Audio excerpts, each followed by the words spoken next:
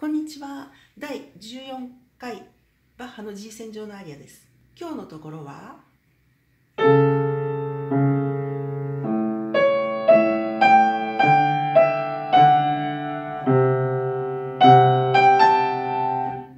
ここの部分をやりたいと思います。ではまず右手ですが、前回の最後が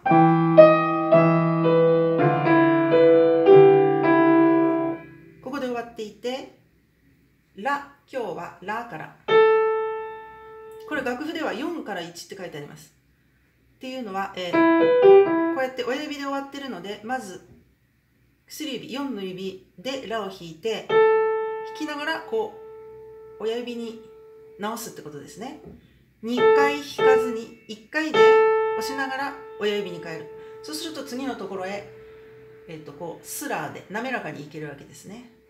はい、では次の音がどのシャープ？ミ、ソ、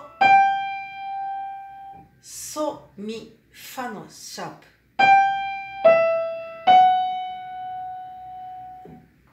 ファのシャープ、ソラ。ここまでですね。もう一度。ラ。どのシャープ？ミ、ソ。ソ、ミ、ファのシャープ。ファのシャープ、ソラ。ここまでです。では、左手ですが、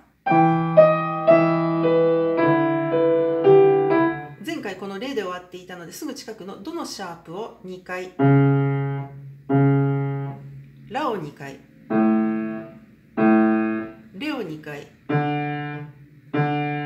ドを2回、ここまでです。では両手ですが、右手のラと左手のどのシャープを同時に。で右手は伸ばしたままで、左手がどのシャープ、もう一回。左手がラ。その後右手だけがどのシャープ。次、左手のラと右手のミを同時に。右手のだけがソ。次、左手のレと右手のソを同時に。右手だけがミ。次、左手のレと右手のファのシャープを同時に。右手を伸ばしたまま左手がド。次、左手の2回目のドと右手のファのシャープを同時に。最後に右手だけがソラとなります。ここの部分は前回よりは単純ですね。もう一度。同時左手、左、右、同時、同時レとソ、右、同時、左だけ、同時、右だけ。となります。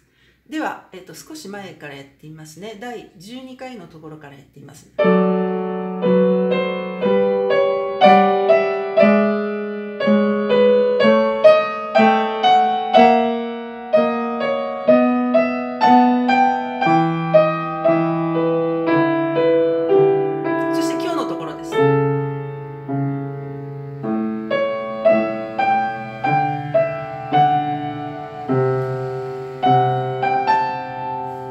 今日ここまでですね。では次回。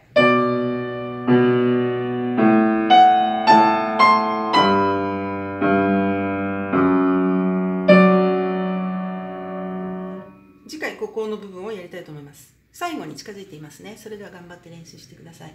これで第14回を終わります。ご視聴いただきましてありがとうございました。